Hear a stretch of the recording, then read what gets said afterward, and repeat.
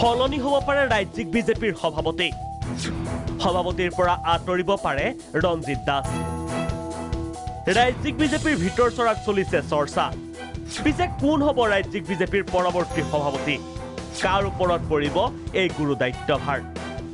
পঞ্চায়ত নিৰ্বাচনৰ ব্যস্ততাৰ মাজতেই ৰাজ্যিক বিজেপিত চলিছে নেতৃত্ব সলনিৰ চৰ্চা। লোকসভা নিৰ্বাচন আগত ৰাখিয়েই কিছু কৌশলগত কাৰণত সাল সলনি হ'ব পাৰে ৰাজ্যিক বিজেপিৰ সভাপতি। চৰ্চাৰ মতে বৰ্তমান সভাপতি ৰঞ্জিত দাসক দলীয় দায়িত্বৰ পৰা আঁতৰাই দিয়া হ'ব পাৰে অন্য দায়িত্ব। খবৰ অনুসৰি সোণোৱাল মন্ত্ৰীসভাৰ অন্তৰ্ভুক্ত হ'ব পাৰে ৰঞ্জিত দাস।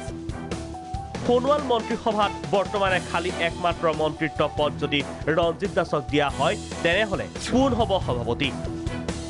পৰৱৰ্তী সভাপতিৰ বাবে অৱশ্যে এক নম্বৰতেই উচ্চাৰিত হৈছে মঙলদৈৰ সাংসদ ৰমেন ডেকাৰ নাম। এক বিশেষ সূত্ৰৰ মতে বৰ্তমানৰ সাংসদ ৰমেন ডেকাক সমাগত লোকসভা নিৰ্বাচনত অৱতীৰ্ণ নকৰোৱাই দিব পাৰে দলৰ গুৰু দায়িত্ব।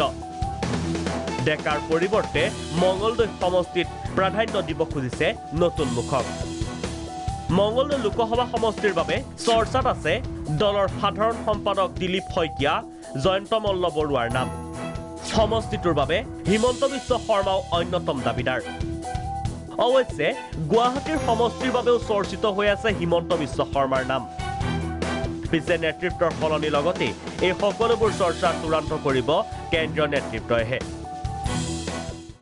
এইবোৰ বিষয় এইবোৰ ৰাষ্ট্ৰীয় নেতৃত্বই জনাব। যিটো সময়ত হ'ব দলৰ শিক্ষণ নেতৃত্বই সিদ্ধান্ত ল'ব। ৰাজ্যিক বিজেপিৰ ভিতৰ চৰাত চলা এই গৰম খবৰ কেৱল চৰ্চা হৈ থাকিব নে বাস্তৱত ৰূপ ল'ব? সেয়া অৱশ্যে এতিয়াও স্পষ্ট নহয়। ভিডিঅ' জাৰ্নেলিষ্ট ৰিপুলৰ সহযোগত ৰুবুল গগৈ ৰিপৰ্ট প্ৰাগ নিউজ।